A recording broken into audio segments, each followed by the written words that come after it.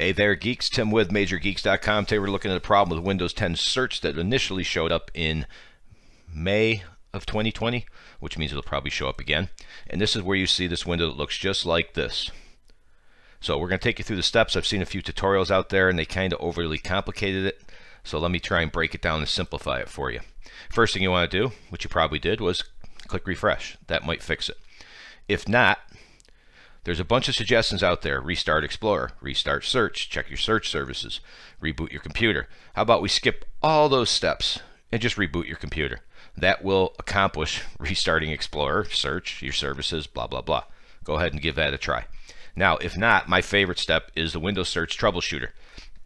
I have highlighted right here for you all the steps that this does. So some of the steps that would be done in rebooting, which is why I have you reboot first but it also looks at a few other things, permissions, etc. So what we want to do is highlight this code here, and I'll link this video tutorial right about now up here, so you can jump over and copy this code if you don't want to type it. So we'll right click and copy it, and we'll press the Windows key plus R, press Control V to paste, and click OK. Click Advanced, click Run as Administrator, Give you a second in case you're running alongside me here. Now we're going to click Next. And it's going to go ahead and look for problems after you decide what you want to check for.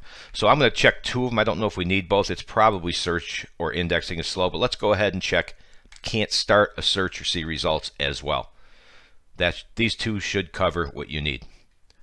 And we'll just follow along down here as you can see. Now in the next screen, it has to describe your problem. You can do that. This is the information that gets sent to Microsoft to help make these troubleshooters better, so that's up to you. You can enter anything you want here. Search is loading slow. Click Next. It's going to check for problems, and if it finds a problem, you can see it was fixed. Now you can go ahead and try your search again to see if it's working. Piece of cake. If you're curious, did I just close that? I did. I'll show you in here. Yeah, real quick when you get done, you can also see a list of things, which is where I collected my list that you saw earlier. Real quick.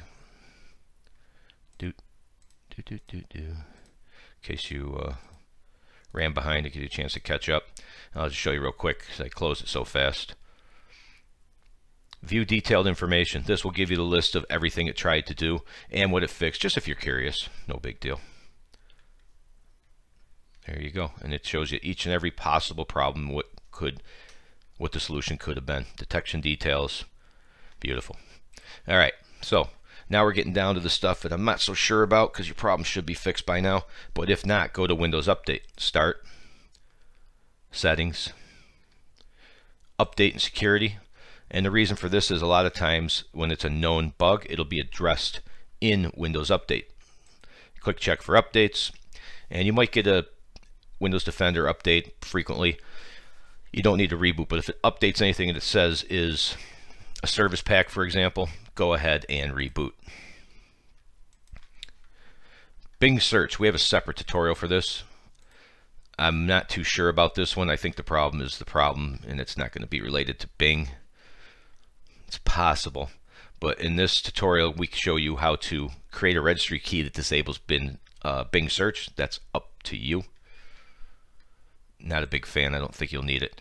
And of course, just for fun, step number 91 is to install Linux because there's always one or two people that says, install Linux and your problem's solved. Yeah, that solves our problem. Sure, sure, sure, sure. All right, guys. I hope we got you here. I hope we simplified it for you and fixed your problem. Bottom right corner, Major Geeks logo pops up. You click on that and you can subscribe. Click like if we helped you out. Leave a comment. We read them every day and respond as many times as we can. Thanks for watching as always, everybody. See ya.